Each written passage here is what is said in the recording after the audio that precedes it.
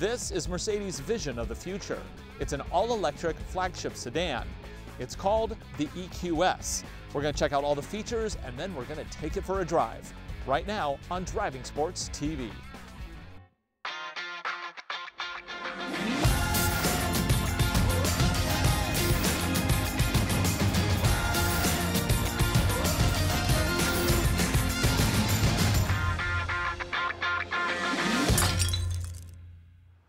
Based on a new, unique electric architecture, the EQS 580 4Matic is the first in a new line of electric vehicles from Mercedes EQ.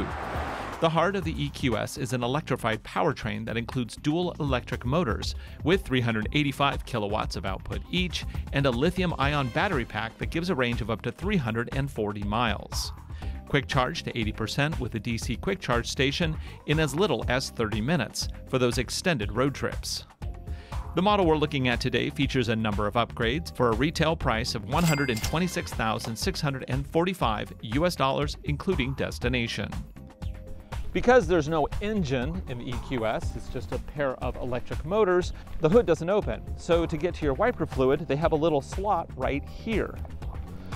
And I'm not really sure how to open it, but it's right here. That's what this is for. Man, these wheels are huge. They are 21 inches and they are wrapped in Blizzak snow tires. Now, will we find snow today? I don't know. It's kind of late in the season, but if we do, we got the tires for it. The back can open either with a remote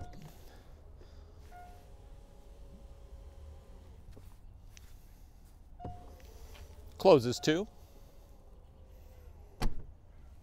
Or you can use your foot.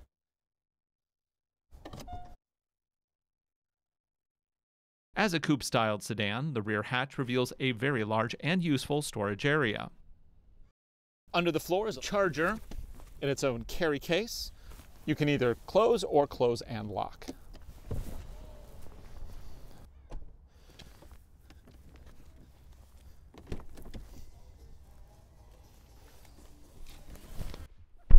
This second row is just airy. I mean, it's a combination of this really light material, this big panorama sunroof. It's actually really nice looking. However, there are some issues. First off, I'm sitting here and my head is hitting this roof. On a vehicle this big, that should not be happening. I do like the wood material here and this, you know, Burmester speaker is gorgeous. But what else do I have going on back here? I mean, there's no way to adjust these seats. There is an armrest with just a device holder, no cup holder. I don't see any cup holders. There's got to be a cup holder. No, that's a dual USB-C socket. Huh. So in recreating and re-envisioning a luxury sedan, Mercedes apparently thought that, hey, nobody wants beverages anymore, ever, or places to put things. Huh. So weird. Okay, well, maybe it's better up front. I'm sure there's at least a cup holder up there.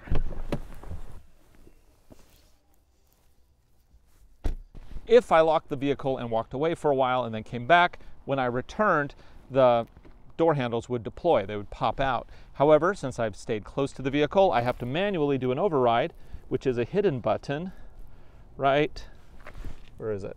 It's here somewhere. Um, there we go. Got it. Okay, let's check this out.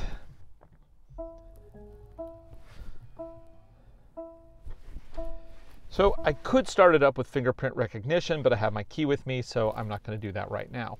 And my first thought here is, wow, that's a lot of screens. But my second thought is, what an odd mix of 1960s speedboat and Bridge of the Starship Enterprise from the next generation. I mean, the swoopiness, the lights, the screens. There's a lot going on here.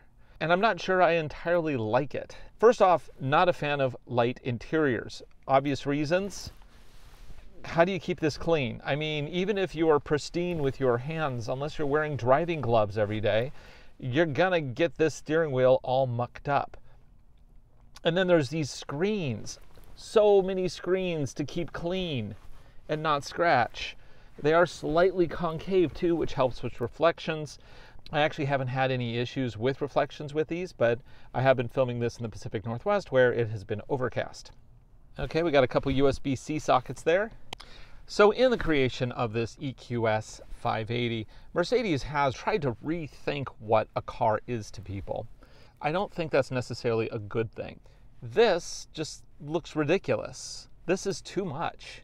Unless this car has 100% autopilot, I just don't need this many screens. I just don't. I don't even know what to do with them. And I was raised with computers, and typically I think I like screens. But I'm looking at this and I'm like, no, that's too many. um, but let's try to make sense of this best we can. Uh, let's start with the essentials the seat. It's a little on the firm side, but the leather is nice and it is sculpted to my body. I have heating and cooling, as well as three stages of memory. And they did change their little rocker setup, so Mercedes always puts the adjustments on the door here in a seat shaped series of switches, but normally where you slide them, these ones are like touch sensitive. So you're not really sure, are you just at the end of your movement cycle or is it not working? So like for example, I'm pushing down, I'm pushing down, but nothing's happening. Like, do I need to push harder? Oh, no, it's it's working. It's just doesn't give me any input. Again, change for change's sake does not always yield a better product. I think that's the case with this. The movement switches, you know you've engaged the switch. This one, you're like, did I engage something? I don't know. Is it doing anything? I don't know. Let's wait and see. Um, yeah, that's kind of annoying. The door pull, something as simple as a door pull. You look at the door here, and you're like, I have no idea where to pull on that because there's no indication of where the pull is. It's kind of visually hidden behind this sculpted wood. Again, why not show me where the door pull is? Why does this have to be complicated? It is masterfully crafted, though. I gotta say, like the stitching here, this this um, ultra suede, the lights, the layers, the materials. By all measurements of skill, this is a masterfully crafted interior. But it doesn't mean I have to like it. and I'm not just saying that to be a Luddite. I mean, it's. I, I like screens, I like inputs, I like lots of things, but I, I just don't see the advantage of this. And this isn't a self driving car, it doesn't even have uh, the basic premise of a self driving car. Um, so, again, these screens, what am I supposed to do with all these? Now let's talk about the gauge cluster. The gauge cluster is a little bit more traditional modern Mercedes. You can flick through this with this touch sensitive controller here and flick through a number of different settings, everything from an eco display to a range monitor, which by the way, this has over 300 miles of range, which is a nice sweet spot for an electric car. It tells me, you know, if I'm getting tired. Uh, I can also put a map up here, although since the entire center dash is map, I'm not sure why I would ever need that up here. And then on the right side, you have a power meter, and on the left side, you have a speedo. Other than safety stuff, such as adaptive cruise control, there's really not much else to do here. The steering wheel, which is how you control it, does use a variety of these little touch sensitive things. The one on the left handles the main uh, gauge cluster. The one on the right handles the large display over there. Um, I actually preferred the older style of inserts. They used to have these ones that had like different textures, and I just think that worked better. This one, um, it seems like it's it just feels cheaper. It doesn't feel better. Uh, now you do have paddles in the back here. They are not for shifting because of course electric cars do not have gears, not in the traditional sense. And so these actually just adjust the levels of regen braking, and similar to what we saw in the Subaru Solterra review that I just did recently. On the left is wiper control. On the right, because this is a Mercedes, you have your transmission lever. An interesting thing, if I go into reverse, it opens up that little Mercedes logo in the back and it shows me both a surround view with kind of a really cool interactive um, sonars, uh, as well as a really pretty rear view camera. Now, this is a very, very forward looking camera setup in that it has full surround view. When I come up to stoplights, it'll go to the front view, uh, which is that one. They've also implemented augmented reality, tying the nav system to the front camera, and that's really cool. I'll show you that a little bit later. that's our introduction to the middle screen. And the middle screen is kind of where you control everything here. And they've, you know, they have this massive map which does show you where all the charging stations are, which is nice. Uh, it also gives you quick access to the EQ settings, um, which I'm not sure why. Wait, see, that's it says EQ. I click it and now it's navigation. But if I click EQ down here, it gives me a different thing, which shows me my battery level. Interface 101, don't make the same things mean different things. They failed there. Uh, it does use natural voice search, and it actually is really good in this car. I can just say, hey, Mercedes, navigate to the nearest charger. Please select from the following locations. Okay, and we get a list of available chargers. Closest one is 1.8 miles away. Uh, unfortunately, this list does not tell me if it's a DC fast charge. Oh, it does. It says fast charging station. I'm assuming that's for DC fast charge. Hey, uh, Mercedes, how old is Britney Spears? See, the thing with voice triggers, they need to work every time. This one doesn't. Hey, uh, Mercedes, How can I help? How old is Britney Spears? Britney Spears is 40 years old. she's still 40 years old. So it'll also do freestyle text data. It'll pull data from the web. So uh, the the one issue that I do have with any of these, hey whatever systems, you know, where you use the the name of the car maker, which I'm not going to mention right now, uh, to activate the voice control is, if you ever talk about cars, which I kind of do, you're constantly triggering it. So it can be a little bit of a challenge if talking cars is your thing, because it's going to constantly wake up. Now I can disable that in the system somewhere, uh, who knows where, but all these systems you can you can always disable that if you if you really don't like it, uh, and then I can just use the button up here to trigger the voice commands. Uh, the voice commands can also be used to modify the cabin as I like. Hey Mercedes, How may I help you? set my temperature to 70 degrees. I'm setting the temperature to 70 degrees. Hey Mercedes, turn on my massage unit. I'm switching on the massage for you. And now my activating massage has been triggered. So you can do most functions using the voice command. Um, the Hey Mercedes trigger doesn't always seem to work, uh, and all, but you can always go to the voice command uh, button up here if you need to. Now, speaking of the massage units, we have all sorts of different settings, and it's good for both the driver and passenger at this trim level. I'm just going to leave that running while I'm talking because it feels really nice. Uh, you hit the home button, you get the main options. These will be very familiar if you've driven another Mercedes, at least a modern one. We have the same apps, comfort, settings, phone, radio, media, info, and EQ. Here, EQ does go to the battery settings. Then we go back here, and then we can also flick over for smartphone interface. Uh, let's just kind of bop up backwards on these. So you can see this actually is a really good example of how this system is laid out. Electric motor, electric motor, and battery packs in the middle. Um, under vehicle, we can see how things are progressing as I'm driving. This would give me live data as I'm driving if I need it. And then media, we can use this to connect via Bluetooth. We can also do online music using a variety of services or USB. Radio, that's where XM uh, as well as terrestrial is put in, and it's a nice interface flicky style one, which is consistent with other Mercedes vehicles. Moving on through the things, we have phone integration, uh, settings, which this helps me set up the vehicle. It's a nice tabbed format with some good graphics up there. This is where we can look at all of the advanced safety stuff, including driving, like active driving assist, lane change assist, collision avoidance systems. It has traffic sign assist, cameras, which you can um, modify there, and then, of course, parking assist as well. Moving over, we have vehicle. We can turn on sounds, yes or no. We can have a creep function, which I like the creep function because it makes it feel like a traditional automatic transmission where when you're stopped but your foot's not on the brake, it'll creep forward. You can turn that off if you prefer more of a, you know, foot off the throttle and the car is completely stopped. Convenience, uh, you, know, this is for adjusting personal preferences, open, closed, uh, and then dynamics. So every time you get in the vehicle, you can make it request what kind of dynamic settings you want. Let's go ahead and turn that on because I think that's kind of neat. Because every time you drive, you might feel like a different kind of, uh, you know, experience.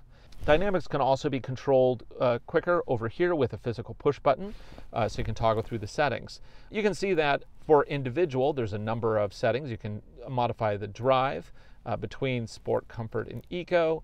The suspension is adjustable because it's an air suspension.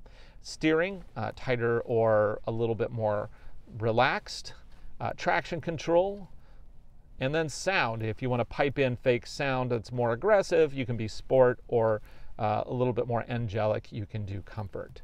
The lighting systems, these are dynamic lights throughout the cabin, and they are actually, I think, one of the cooler aspects of this vehicle is their use of light, but you can change exactly what kind of a color format you want.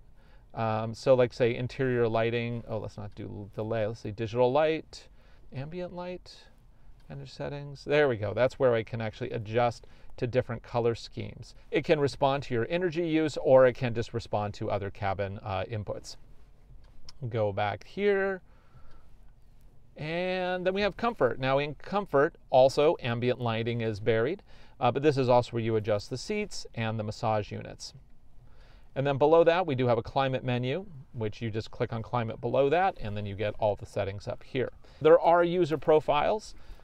You can have settings for your user profile if you like. We are currently set up just on a standard guest account, so I didn't bother to adjust mine. And this can be synchronized to the cloud with other Mercedes that you happen to own. Okay, that's a basic tour here. Hey Mercedes, go find me some coffee. Here are several coffee shops. Where do you want to go? Five Stones Coffee, Urban Coffee Lounge. You, you will note it's only finding me things that actually have coffee in the title except that one doesn't, although it does say espresso, so they might have have a simile uh, built into the search tool. Anyway, right, so that actually works pretty good, I think, all things considered. One more thing to go over here, and that's device connection. So I, of course, do have an iPhone. This is an iPhone 11 Pro, I think.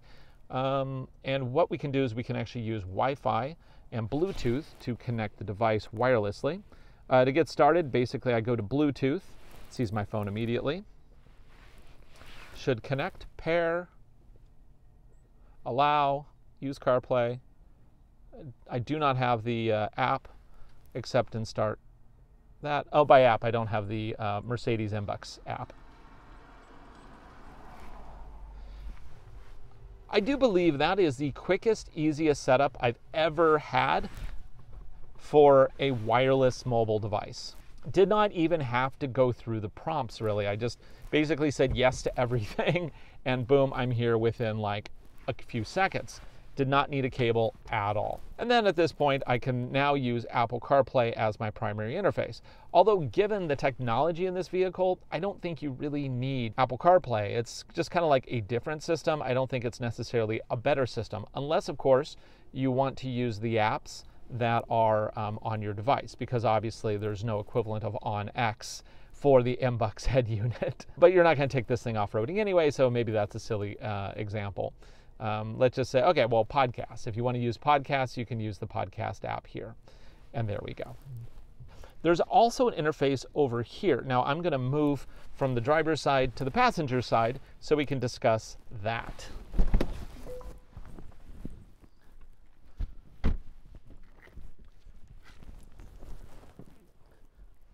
So right here we have a passenger screen essentially we powered on. Now you can't use the guest profile because the guest profile is being used by the driver. Um, I can however use without a user profile if I like. And from here I can actually do all sorts of things. So I have my own little map interface here to show you that I can use multiple maps. There's a big one there for the driver and a smaller one here. I can use my own keyboard here to find my own items. Let's say I don't want to go to an independent coffee house, I want to go to Starbucks. I can say, okay, go to that one. Let's go. And then it throws that navigation over to the main screen for the driver. It's basically the exact same thing as what the driver gets. So I can actually pair my own phone over here. The system will support two mobile devices. Radio, I can pick my own radio station and don't have to mess with the driver. Say I want to go to Outlaw Country. There we go. And I can also integrate my own media devices. Use my own apps. So I can, for example, look at the weather.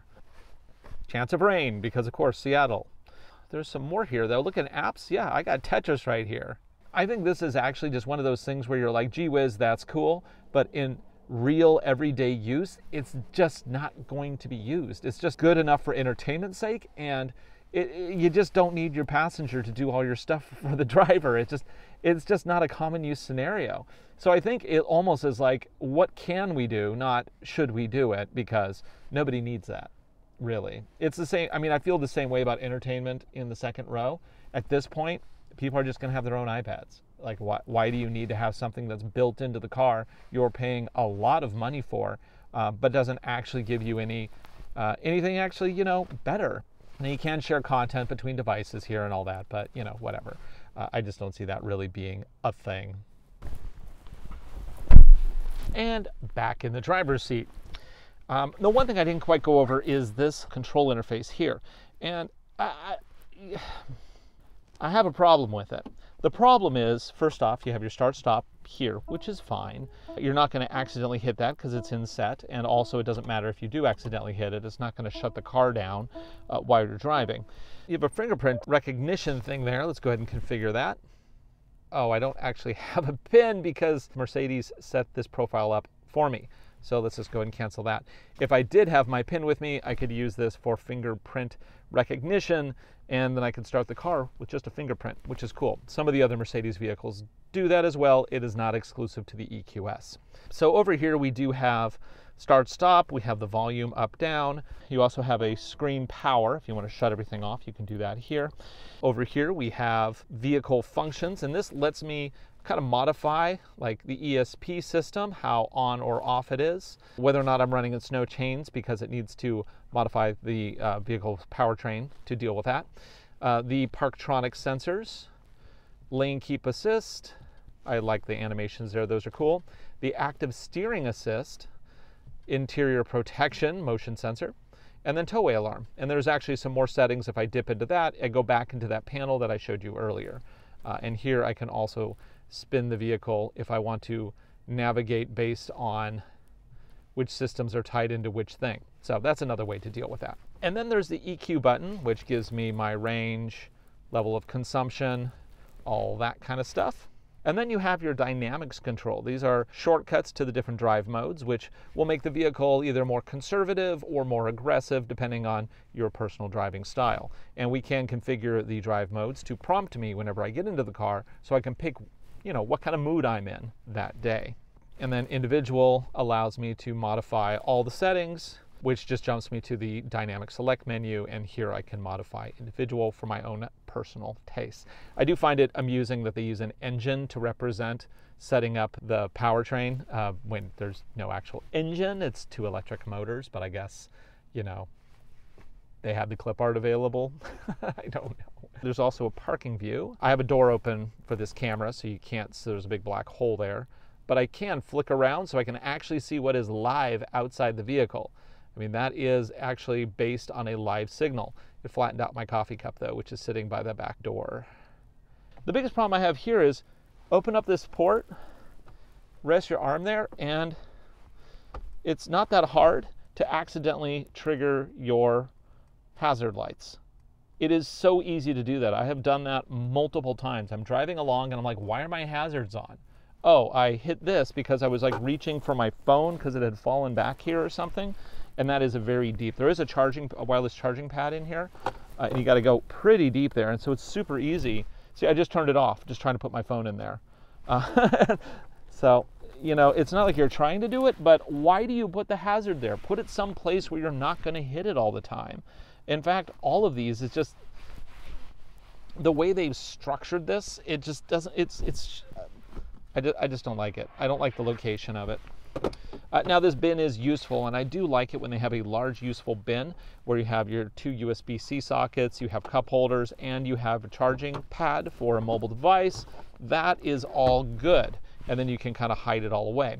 And then below that, there's actually more storage too. If you uh, need to put anything, you know, like a hat or something, you can put that down there. And then further, you have more storage back here with two more USB-C sockets. So you got lots of sockets, lots of bins, a lot of useful space. Ultimately though, this vehicle does only have the two cup holders. That's it. Which, uh, in 2022, uh, it's not like you need 100 cup holders, but come on. I think you need more than two. a Miata has more cup holders than this big thing, which is a little silly. So, ergonomically, there is an issue here. The seats are comfortable. However, to put this wheel where I want it down here blocks the gauge cluster. What is it with electric car makers where they won't let me put the wheel where I want it to be? The Toyota BZ4X Subaru Solterra combo also has the same problem.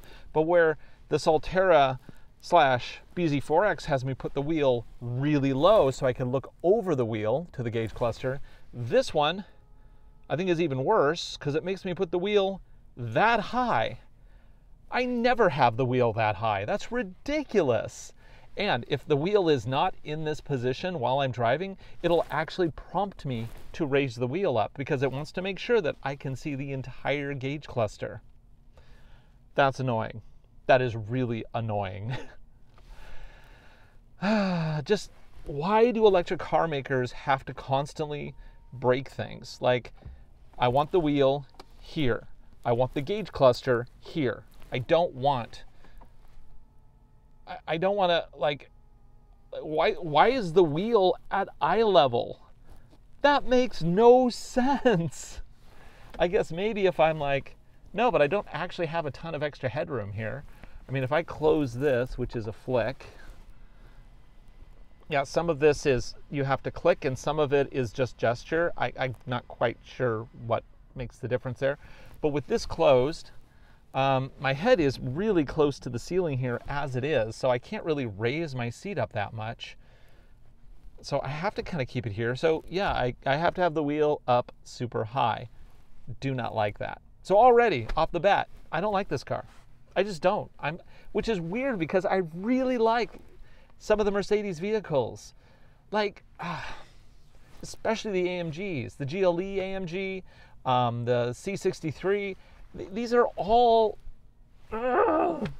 Mercedes. They got their ergonomics. They nailed it, and then they said, "Eh, we're building a new car. Let's let's not let's not take any of the stuff we've learned. Let's just let's just do something new for no particular reason. Why is the wheel this high? Uh, well, maybe it won't affect my driving. Maybe. Anyway, let's take it for a drive and see how the EQS does.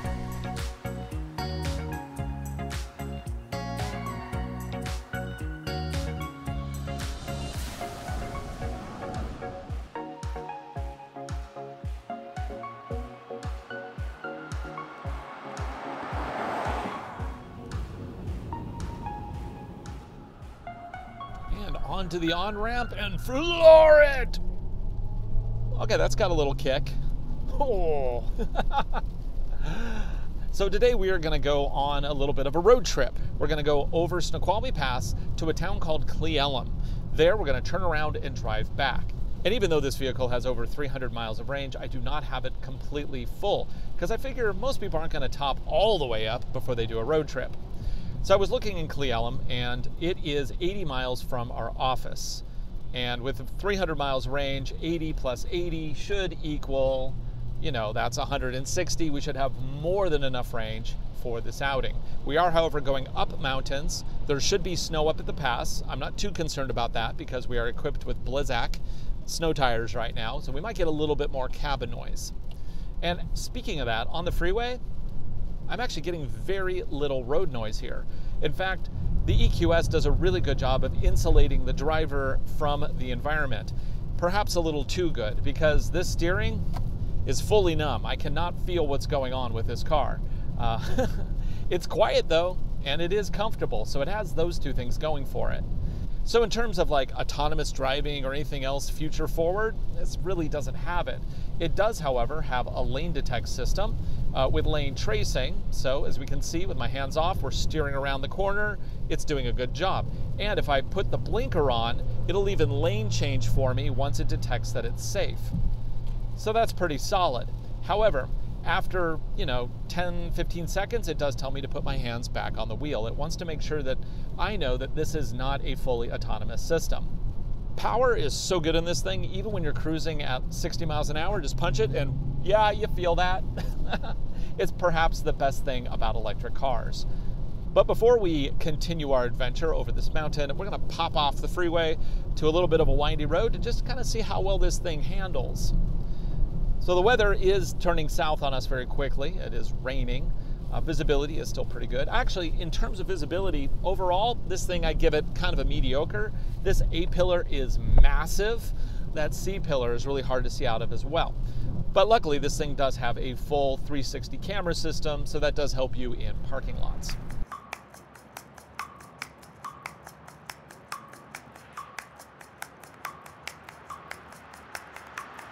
Once on the side road, we can kind of play with the different dynamic settings. Right now I'm in comfort, and yeah, it is smooth and quiet.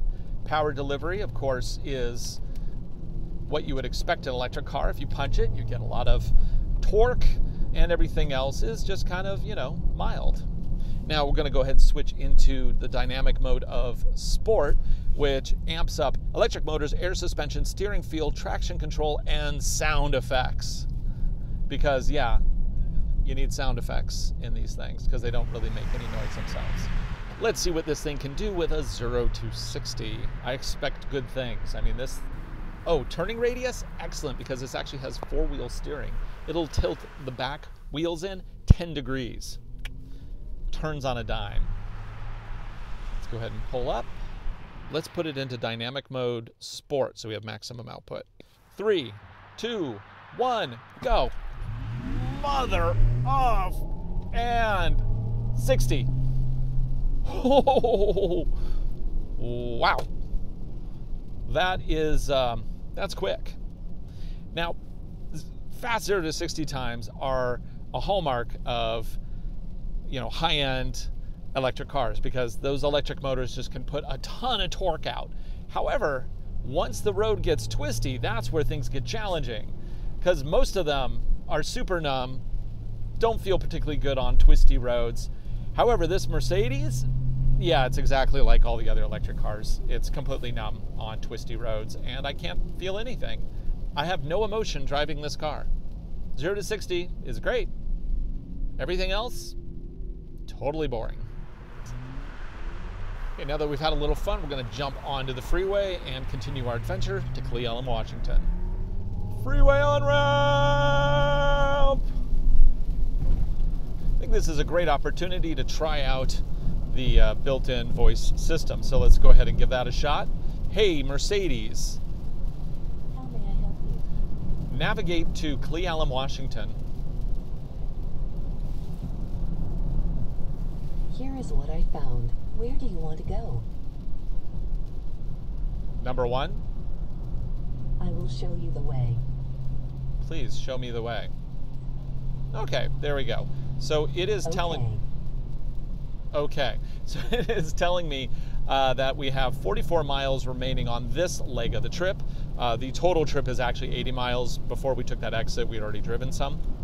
It says when we arrive, we'll have a 50% charge on the vehicle. If I was concerned about getting back, I could click on this, and then I could find charging stations. And I don't want to find them all. Hey, let's let's look along the route. What do we got for options here? Back in North Bend, uh, which is a town we just passed probably about 15 minutes ago, there is actually a bank of 350 uh, and 100 watt DC fast chargers. So there are along the route here, just not on this particular leg. But it's okay because we have a vehicle with 300 miles of range, so it should be fine. I hope.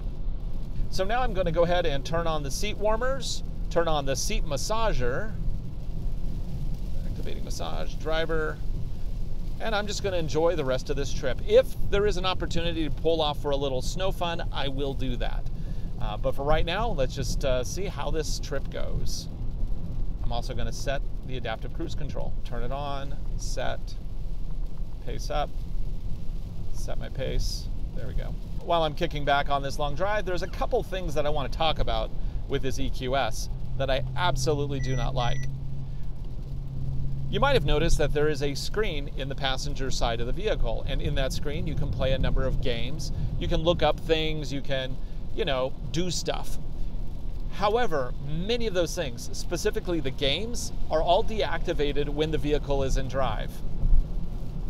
Like, what's the point of having apps and a separate screen for the passenger if even the passenger can't access that while you're driving? That makes no sense. That tells me they never actually put somebody on this seat and tested it in the real world.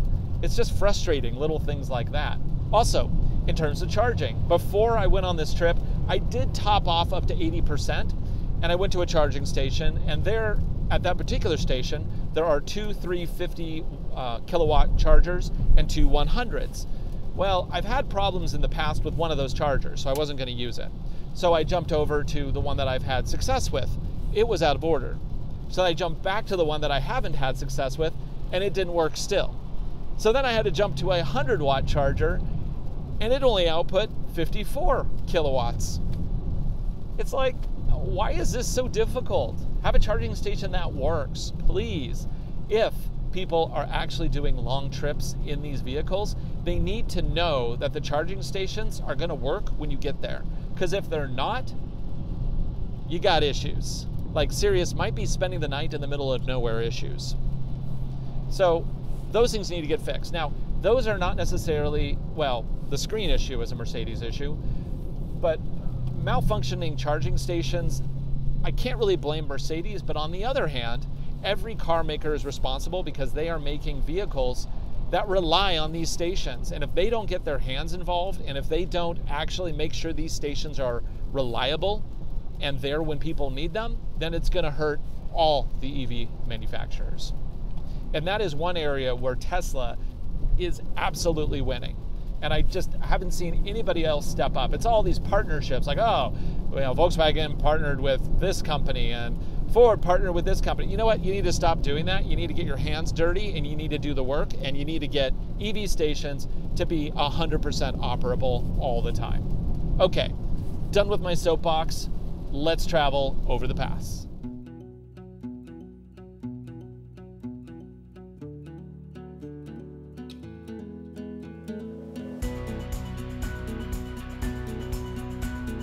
Now we pulled off the freeway and we are driving on a snow covered road. And this is perfect, it's fresh snow. So we're gonna see how this all wheel drive system responds. We don't have anything too challenging here. We're just gonna drive up and down this road, kind of feel it out. Now, of course, ice will be ice and it's gonna slip a bit, but we do have Blizzaks on and we have all wheel drive. So let's pull aside. I'm gonna let Nick out so we can do some filming here and we're gonna see how this thing responds. Okay, let's put the power down it's a little slippery, not too bad. Whoa. yeah, let's try a 0 to 60 and I'm going to get on the deep stuff here. Let's let's get into the deep stuff. okay. So, from here I'm just to mosh the throttle as hard as I can so we can see on the outside what the all-wheel drive system does. Three, two, one, floor it. Oh yeah, it's controlling everything very nicely it detects the slip and it's just being very slow and progressive at getting us up to speed. I mean, I'm up to 25 miles per hour right now and I've had my foot buried to the floor. Let's see if we can uh, have some more fun here. Can I turn off traction control? Let's see, dynamic. So I'm going to turn that off. We're going to go to dynamic and I'm going to go to sport. That should relieve one layer of traction control. Oh yeah, now I can spin tires. Whoa, when it gets grip, it gets grip. oh yeah, nice. And brakes, it's doing a really good job and it's actually not too invasive. You know, usually uh, when you slam the brakes on on snow, it's really loud and really aggressive. That actually was pretty good. It was subtle. I mean, again, it was kind of that luxury experience. Obviously this car is very low, so it is just scooping up the snow, but luckily this is really soft snow. Uh, so we don't have to worry about damaging it with big chunks of ice. Now it does have air suspension, but I seem to have no way of actually modifying the ride height. Um, it just kind of does it all automatically.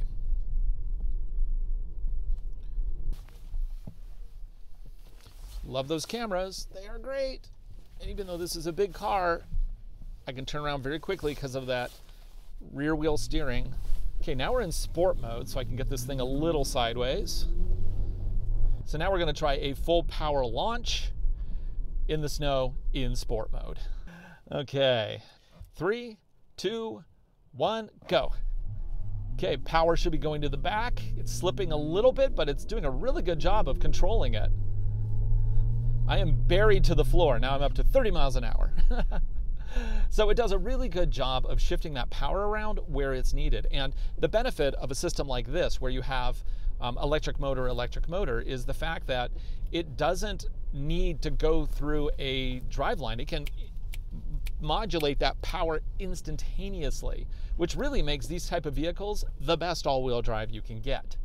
But of course, you have to be careful because this is a large vehicle and it has a lot of momentum. So if you do lose control, there's only so much the vehicle can do. So you always have to maintain a controlled speed at all times. I'm going to try to do a donut here. So to try to get a donut, I need to be able to turn off traction control completely if that is even possible. So there's an ESP menu. Uh, on, off. Oh, okay. Well, that was pretty straightforward. Um, I was able to turn it off just by hitting the car button and then ESP. So let's see if that actually turned it off and we can get a nice little donut here. Hopefully it's okay. Now, ooh, depth of the snow is a problem. Oh boy. Okay, we, we actually have a little bit of a snow depth issue here. Oh.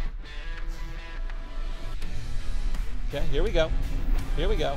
Here we go. Can we do a donut? Yes, it will donut.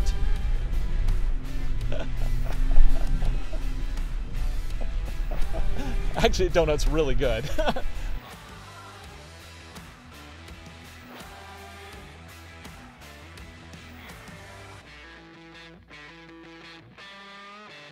I don't want to burn through all my battery, so we're going to jump back on the freeway and continue our journey to Cle Elum now that I have 146 miles left on the battery. Okay, we're coming up on our exit here, and it looks like we have 104 miles remaining, worst case scenario. Now, the system is estimating anything from 104 miles to 146 miles, depending on how I drive. Now, on the upside, the whole trip back is mostly downhill because we've gone up over a mountain pass. So that works to our advantage. Also, if we do get close to running out, we can always stop in North Bend, which is still about mm, 30 miles short of our office, to get a charge there. And we might just have to do that. But it really underlines a potential issue with anybody looking for an EV. Even if you're looking at, you know, something that is well within the range of your vehicle, if you make any unplanned diversions, it can really you know, throw that range anxiety back into your day. You might have left totally fine, but like right now, not gonna lie, I am a little worried. But we're gonna go all the way downtown, flip it around, and head back and see if this is uh, really doable for us today. So we've had a chance to flip around. We grabbed some lunch. And uh, we're heading back to Bellevue, Washington. Now, the navigation system shows that we have 67 miles to go, and when we get there, we will have 17%. Now, 17% is not a lot of leeway. Um, hopefully, we can get there and not have to charge up again. However, along the way, I, ha- I do know that there is a DC fast charger in North Bend that can get us the rest of the way if we need to.